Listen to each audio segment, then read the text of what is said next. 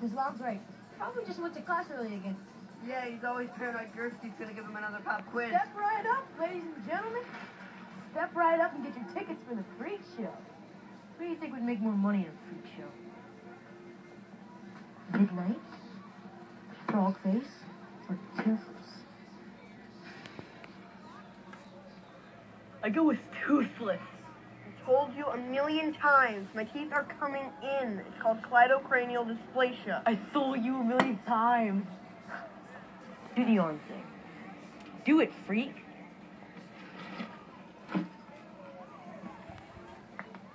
Whoa! God, it gets me every time. Assholes. I think it's kind of cool. It's like you have superpowers or something. Like Mr. Fantastic. Yeah, except they can't fight evil with it.